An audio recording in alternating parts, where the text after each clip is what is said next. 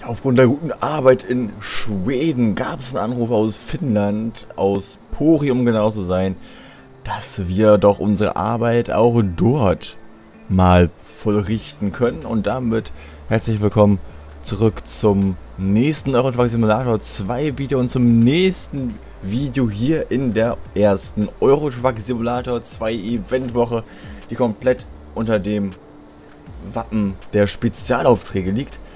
Und wir gucken uns mal an, was für feine Aufträge wir dann jetzt hier gerade in Pori, Finnland haben.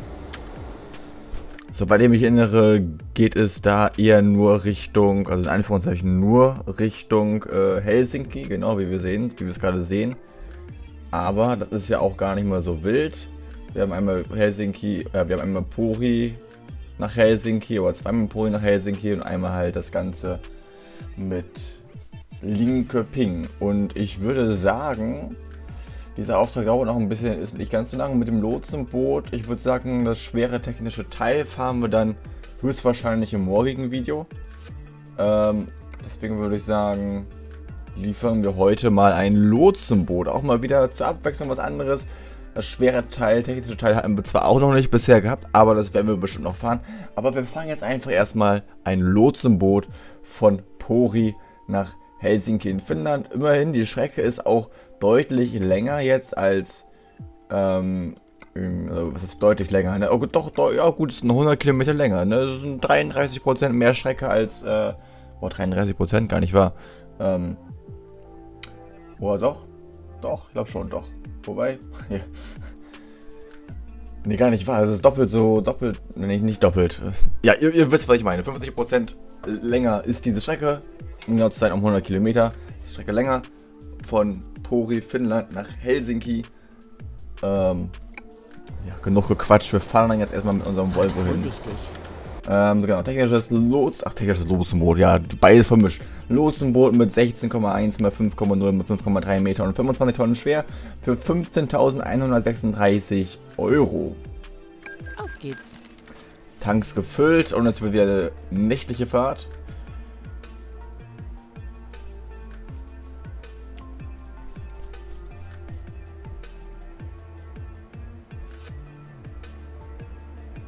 Wieder vergessen, die Leuchten anzumachen, dass ich die Leuchten auch jetzt hier sehen kann. Damit es jetzt auch schon blinkt und blitzt und was nicht alles tut. Weil in der Perspektive hier kann man es ja nicht aktivieren. Ah, sieht aber schon nice aus. Auch, äh, Achtung, du beabsichtigst, einen Spezialauftrag auszuführen. Zwei Begleitfahrzeuge werden dich hierbei leiten. Sei vorsichtig und folge ihren Anweisungen, äh, ihren Hinweisen und Vorschlägen im Route Advisor. Spezialtransporte wie diese halten nicht an roten Ampeln und haben in den meisten Situationen Vorfahrt. Während solcher Transporte werden häufiger Wegpunkte angelegt, um deinen Fortschritt zu speichern. Richte besondere Aufmerksamkeit auf Folgendes. Vermeide jeglich denkbaren Kontakt mit den Begleitfahrzeugen und halte die Fracht zwischen ihnen. Weiche nicht von der geplanten Route ab und suche keinesfalls Tankstellen, Rastplätze oder ähnliches auf. Beachte die Geschwindigkeitsbeschränkungen, die durch das vordere Begleitfahrzeug sichergestellt werden. Achte auf überholenden Verkehr. Spurwechselmanöver sehen wie folgt aus. Ich muss gleich was zu trinken einchecken.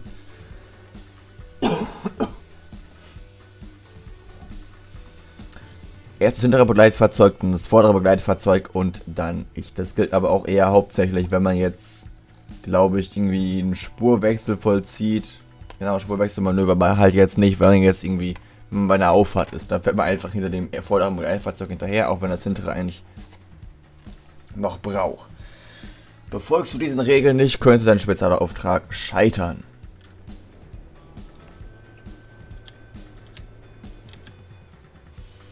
So, dann würde ich sagen, wollen wir mal. Ist mal schon der Motor ausgeschaltet.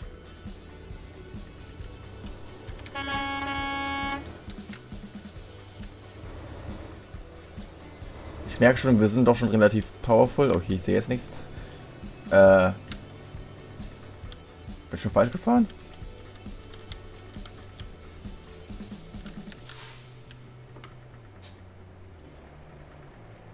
Ja, das Gefühl, ich hätte hier links, gem äh, rechts gemusst. Egal, dann fahre ich jetzt hier vorne rechts.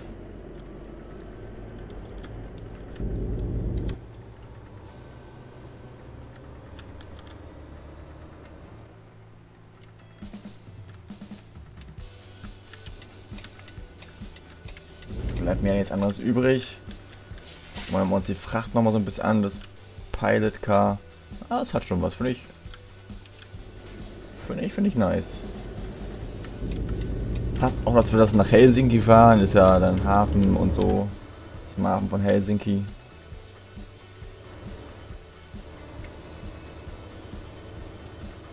Ah, schön mit dem ganzen Bling Bling. Wollen wir mal links abbiegen. Richtung Helsinki. Wir schon mit den Lenkachsen.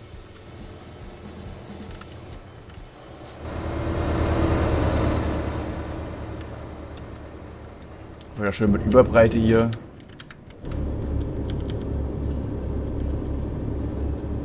So. Dann noch wieder den Bomber ein bisschen höher stellen. Und dann geht es hier schön weiter. Ah, sieht schon nice aus. Finde ich.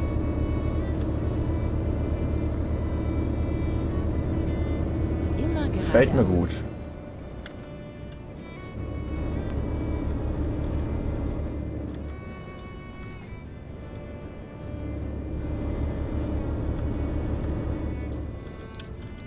Jedes Mal dran denke, mir vorher was einzustecken und es währenddessen machen muss, ey.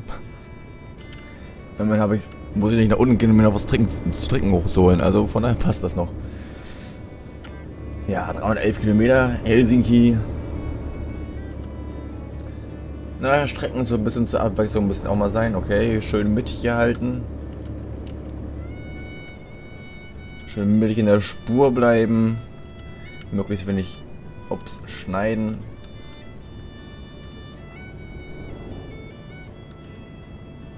Ich, ich, ich, ich muss einfach nochmal sagen, ich, ich finde, ich finde der Volvo sieht einfach nice aus.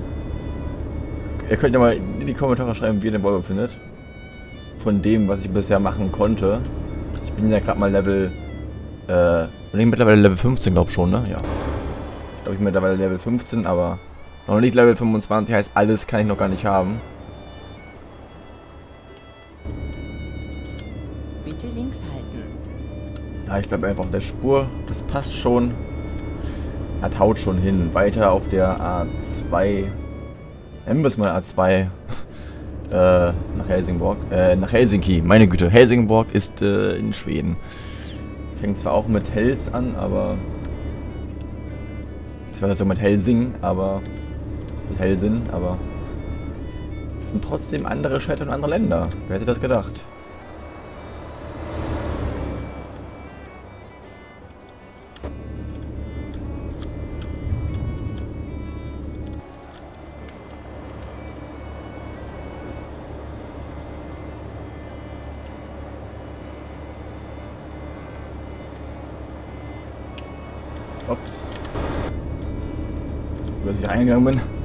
Es, äh, ich, ich, ich finde die Spezialaufträge sind eigentlich echt sehr, sehr, sehr geil gemacht.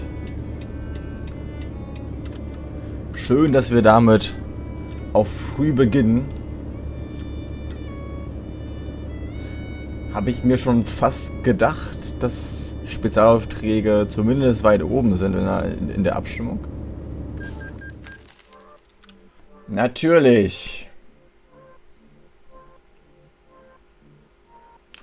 Safe Call. Es hat sich doch bestimmt ein Fahrzeug zwischengemogelt, oder? Lass uns loslegen.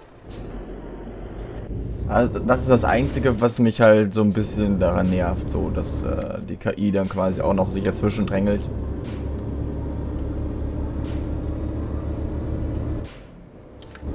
Und dass wir dann, oder dass in dem Fall ich dann halt der Gelackmeierte, Gelackmeierte bin, weil die KI halt einfach gemurkt hat. Das hatte ich ja bereits schon mal gehabt in American Truck Simulator. Da war es ja auch mal so gewesen, auf oh, als es in den Bergpass hinunterging. In Colorado müsste das, glaube ich, gewesen sein. Im letzten Bundesstaat auf alle Fälle. Also Colorado. Da hat sich dann auch ein Fahrzeug bei der Abfahrt halt zwischen mir und das hintere Begleitfahrzeug gedrängelt. Und dadurch hatte ich dann halt quasi dasselbe Problem wie jetzt halt in diesem Fall. Das ist dann hieß ja hier. Du äh, hast verkackt, du musst nochmal vom letzten Weg planen. Das war allerdings auf einer zweispurigen, auf einem zweispurigen Abschnitt. So, ich hoffe. Ja, jetzt fahr doch. Aber weil die KI da hinten so dämlich ist. Weil ich zu schnell bin, weil die KI nicht einsortieren kann. Äh, einsortieren, sich nicht einordnen kann. Weil die KI sich nicht einordnen kann, passiert das. Ich verstehe. Das heißt, ich muss ab dort immer abbremsen. Wenn es eine Fahrbahnverengung gibt, abbremsen, ganz langsam weiterfahren. Gut zu wissen. Mittlerweile regnet es. Es ist ja... Alles ja grandios. Es fängt auch noch an zu regnen. So ganz urplötzlich.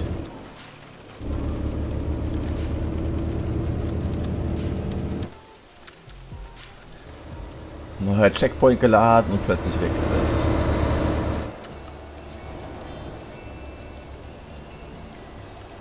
Auch nicht schlecht.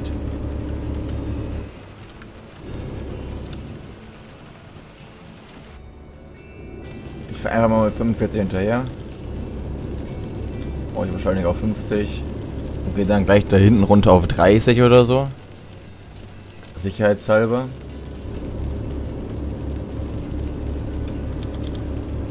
Einfach nur um sicher zu gehen, dass es diesmal funktioniert.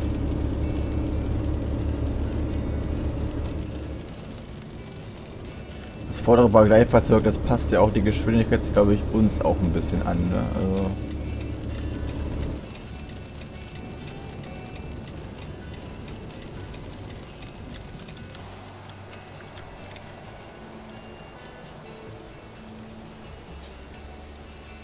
So, ich halte an.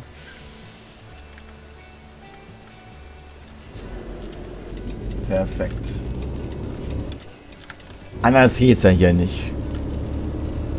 Aber ist auch nicht schlimm. Ist ja schließlich nur ein Game. In Realität wäre es natürlich komplett anders, aber es kann halt nur so gut simuliert werden, wie es halt simuliert werden kann, ne? Solange man, solange man weiß, wie es ist, wie das abläuft, wie das funktioniert, kann man sich ja darauf einstellen. Von daher alles easy.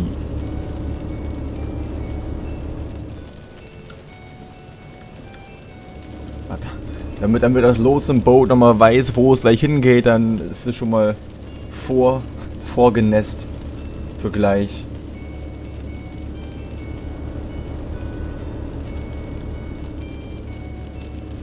Aber interessant, dass die KI auch von den Begleitfahrzeugen so programmiert ist, dass sie halt trotzdem dieses Einfehlungsprinzip halt priorisieren vom hinteren Begleitfahrzeug. Das vordere Begleitfahrzeug, das ist ja einfach schnurstracks gefahren. Gut, es kam halt auch nichts von links. Ähm, vermutlich ist halt einfach bei der KI, auch bei der Begleitfahrzeug-KI, ist halt einfach, all, allgemein bei der KI ist es ist eine Priorität vom Einfädeln. Und die steht quasi über allem. Deswegen würde ich, das ist zumindest meine Vermutung.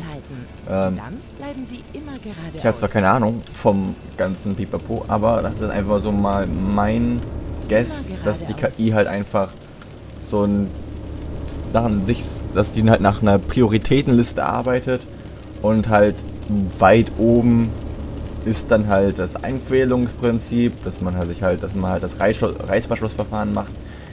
Ähm, deswegen hat das Begleitfahrzeug, boah, die, die, die, die Eigenschaften des Begleitfahrzeuges sind halt weiter unten priorisiert. Weswegen das wahrscheinlich dann halt einfach so erstmal halt das Einfädelungsprinzip äh, durchführen möchte, bevor es halt deine normale Arbeit weiterführt.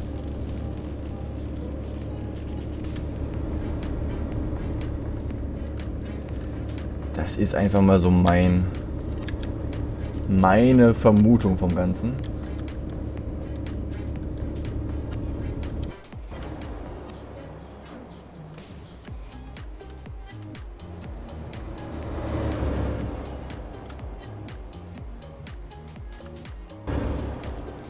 Seitdem wir noch das Begleitfahrzeug.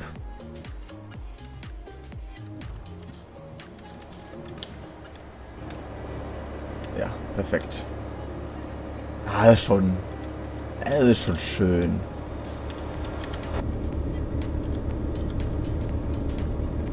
Noch 200 Kilometer bis Helsinki. Ja, es ist, ist, halt. Es ist immer wieder faszinierend. Man sieht halt so, okay, 200 Kilometer, 300 Kilometer für die Strecke. Aber wenn man halt die ganze Zeit nur mit 60 durchschnittlich fährt, oder maximal fährt, ist es halt dann. Äh, sind die Folgen doch länger als äh, man annimmt. Aber ist auch eine besondere Fracht, ne? da muss man sich auch besonders viel Zeit nehmen. Von Helsinki geht es noch weiter geradeaus. Weitere 200 Kilometer.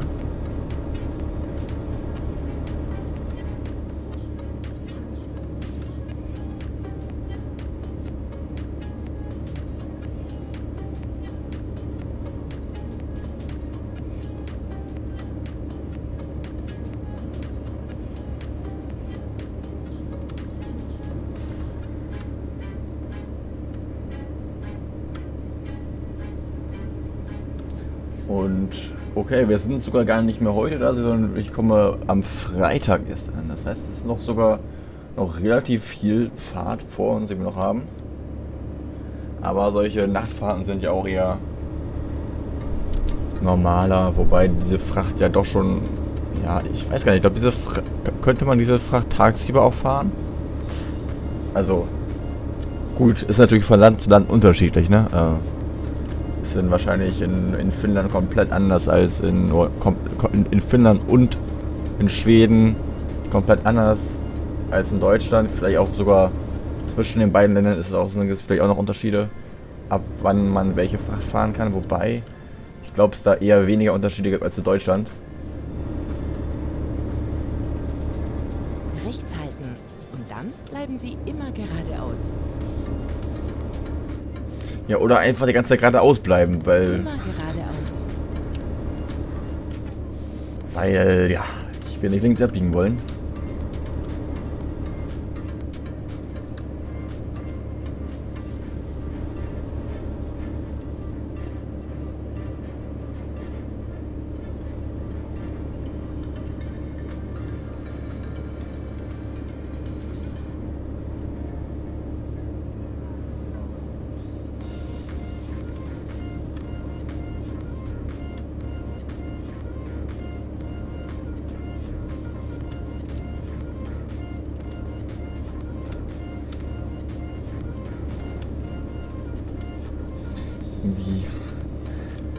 Das Gefühl, es ist halt echt schon ziemlich langsam. Aber die Kilometer, die kommen ja trotzdem runter.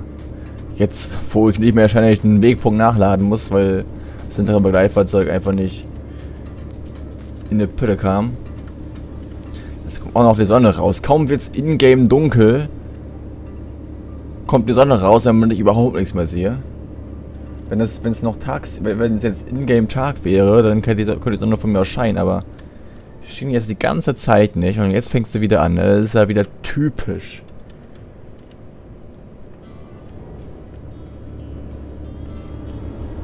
Lustigerweise sehe ich, ich sehe vom, also auf dem, auf dem Monitor, wo das Game läuft, sehe ich das Begleitfahrzeug und alles, was rechts ist. Das andere danach ist halt schon stark überblendet. Und auf dem anderen Monitor ist es genau umgekehrt. Das ist halt auf der linken Seite guckbar ist, aber auf der rechten Seite überblendet ist. Da, wo jetzt gerade OBS läuft. Also klar, minimiert noch in minimierter Form Version, aber trotzdem passt ja. Die eine Seite sich auf dem einen Monitor, die andere auf dem anderen und das passt sogar eigentlich ganz gut. Dass ich auf dem rechten Monitor die rechte Seite gut sehe und auf dem linken Monitor die linke Seite. Das einzige Problem ist halt, also was, was halt optimal wäre bei Euro Truck Simulator, dass man äh, das Game. Also klar geht es bestimmt irgendwie per... Wobei ich meine, es funktionierte bei mir nicht. Oder ich habe es probiert. Oder ich habe ge ge geguckt, ob es bei Dings das geht bei Steam. Aber ich meine, das ging nicht. Oder ich, vielleicht war es auch ein anderes Game. Kann auch ein anderes Game gewesen sein. Ähm, dass ich es auf einem anderen Monitor verschiebe. Das Main Game. Dann könnte ich halt immer auf dem Monitor das laufen lassen, wo... Äh, ich den Monitor auch heller stellen kann, sodass ich dann jederzeit prinzipiell aufnehmen könnte, aber halt nicht eingeschränkt bin, wenn ich jetzt am Tag aufnehme. Was in der Regel der Fall ist.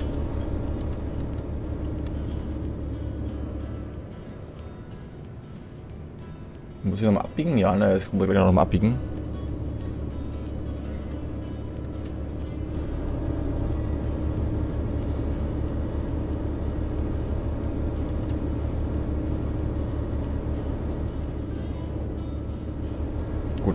Abbiegen, nicht wirklich eigentlich nur die Abfahrt nehmen oder die Auffahrt nehmen.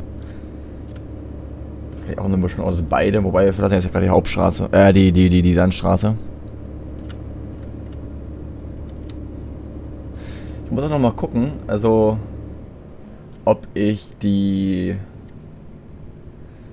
die, ja, nennen wir es mal die Blinklichter, äh, beim bei der Front beim Kühler, ob ich die da äh, rausnehme oder einfach nur deaktiviere äh, oder ob ich sie halt äh, wie gesagt rausnehme und sogar was anderes ersetze.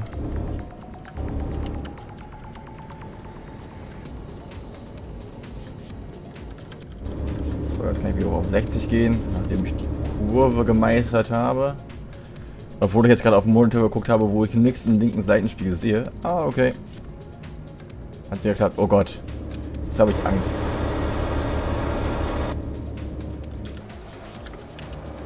Ah, perfekt. Hier schafft das. Aber es kam ja auch nichts von hinten, von daher. Rechts halten und dann Ausfahrt rechts nehmen. So, ab Richtung Helsinki. Wo liefern wir überhaupt hin? Rechts gar nicht gesehen, von wo wir geliefert haben. Klar, vom Hafen, aber wahrscheinlich liefern wir auch jetzt zum Hafen. Ich gucke mal einfach kurz auf der Karte nebenbei. Einfach nur, weil die Neugier jetzt doch da ist. Ja, klar, Hafen, ne? Vom, vom, vom selben Hafen, von einem Hafen zum nächsten Hafen.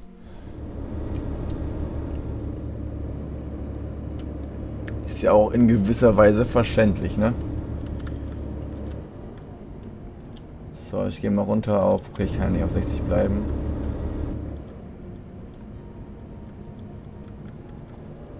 Das laut Anzeige, wobei ich vielleicht doch lieber jetzt hier auf 55 runtergehen möchte.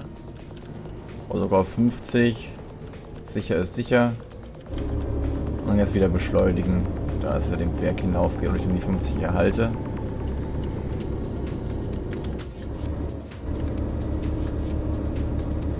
So, schalten wir nochmal zwischendurch.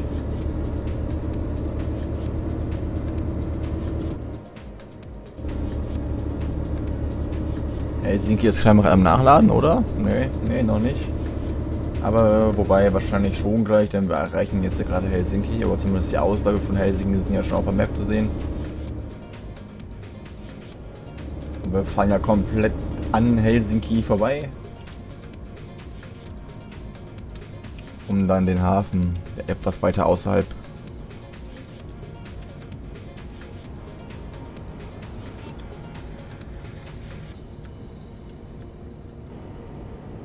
liegt.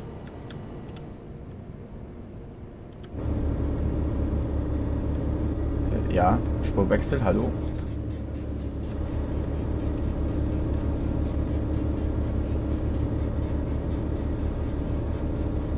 Bitte links halten.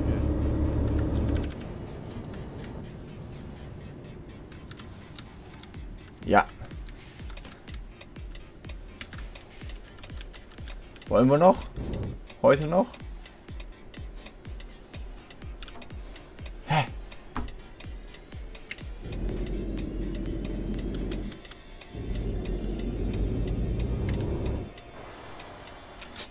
Sehr schön, jetzt kann ich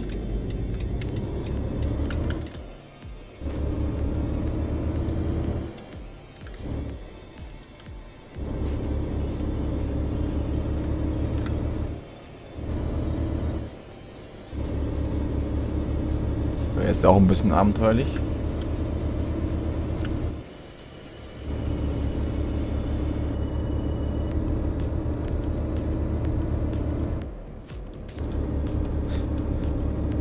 Bitte links halten. Ich dachte, das wäre alles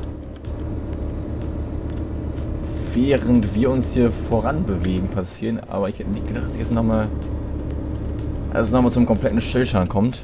50 Kilometer vom Ziel, aber 60 in dem Fall.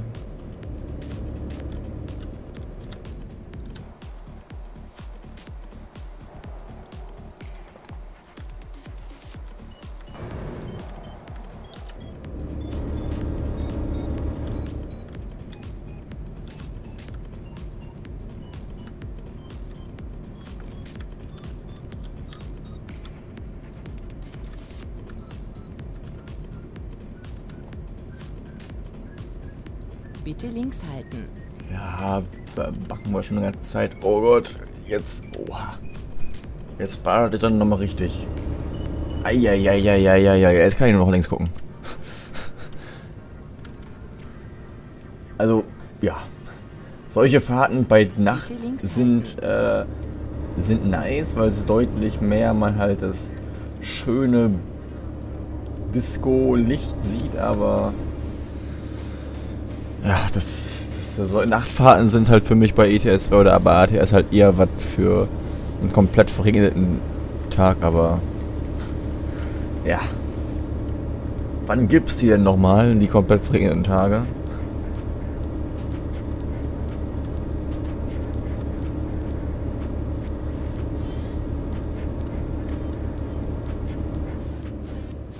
Mittlerweile sogar schon sind wir sogar erst nach 1 Uhr da.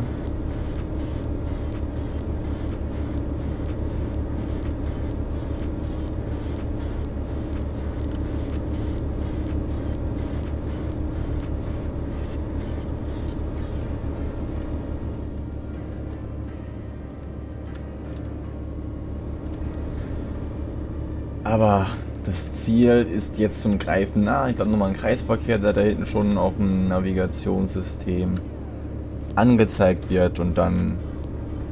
Oh, da mal durch den Tunnel durch. Huiuiuiui. Das wird ja was Feines werden.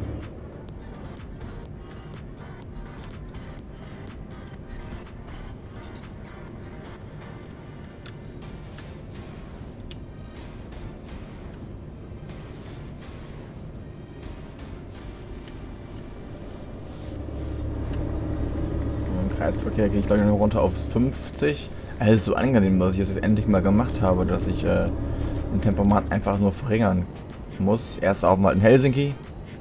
Am Kreisverkehr zweite Ausfahrt nehmen.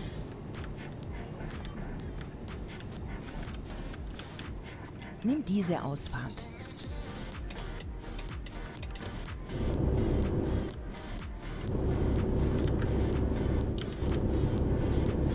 Und dann sind wir bei Helsinki bei Maersk.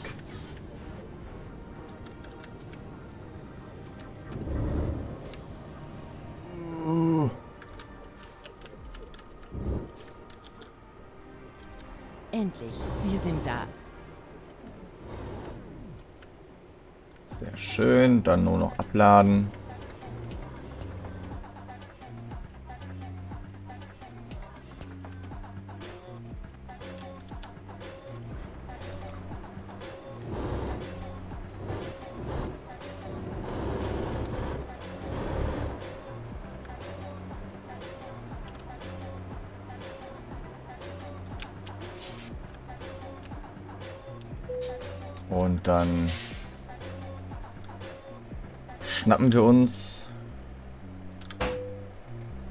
Das Geld und dann fahre ich gleich nochmal kurz zum nächsten Hotel. Ausgezeichnet. Oh, Achievement unlocked, not a cane. Not, not, ja, not a canoe. Kein Kanu. Oh, ich bin sogar noch Level 4, jetzt eine Kurve für Level 15. Nevermind. Äh, Spezialauftrag erledigt. Gefahrener Strecke 330 Kilometer, dauert 10 Stunden, 17 Minuten. 152,5 Liter habe ich verbraucht. Es gab dafür 15.099 Euro für den Auftrag und 832 Erfahrungspunkte. Ähm, genau, wir fahren dann nochmal kurz zum nächsten Hotel. Dann werde ich mich da nochmal aufs Ohr hauen und dann höchstwahrscheinlich dann morgen so gesehen zwischen den Folgen in Anführungszeichen zurückfahren nach Pori, um dann den nächsten Auftrag anzunehmen. Äh, ja, schlafen ist äh, drin. Ähm, hier. Nochmal 39 Kilometer dahin fahren. Zeit zu gehen. Ich war offenbar Level 13, als ich hier die ganzen Spezialaufträge angenommen habe. Schon wieder den Motor ausgemacht.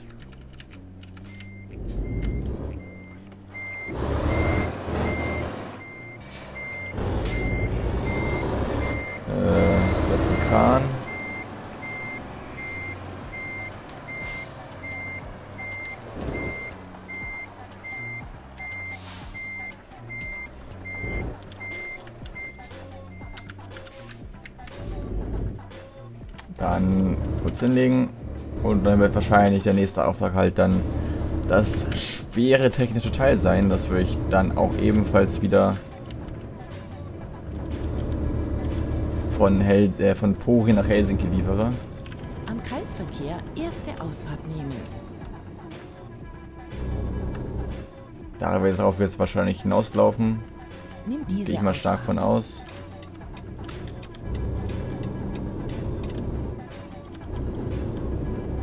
Aber das werden wir dann ja noch früh genug sehen.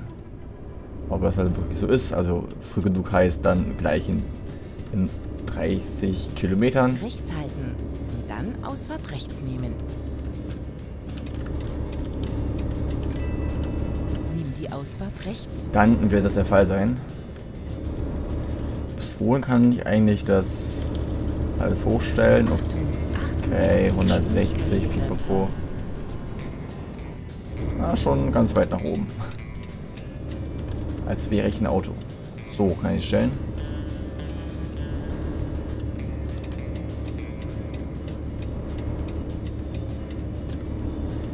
Wunderbar, wunderbar, wunderbar. Ja, mittlerweile sind es schon wieder 47.700 Euro auf dem Konto. Sehr, sehr schön. Also es kommt nicht viel in den sieben Touren zustande, wie jetzt bei normalen Touren. Die dann ja doch schon eher so im, um den 20.000er Bereich sind. Aber das ist ja auch, wie gesagt, nicht verkehrt. Sind, dafür haben wir sehr, sehr schöne Touren, sehr schöne Aufträge. Da mal mit dem einen oder anderen technischen Problem, was die KI betrifft, aber das ist ja auch alles halb so wild. Biege nach rechts ab. Da kommt nix.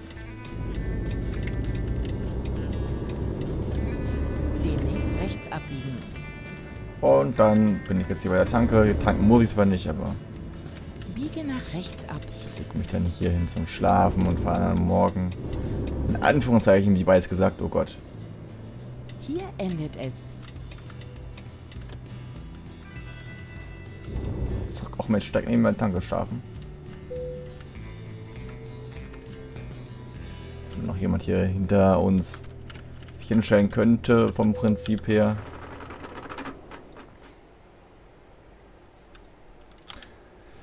Genau, wir schauen nochmal eben nach. Wahrscheinlich wird es darauf hinauslaufen. Das wird dann das technische Teil. Genau, schweres technisches Teil von Puri dann nochmal nach Helsinki fahren. Gibt auch mehr als für die Strecke von Linköping nach Kalmar.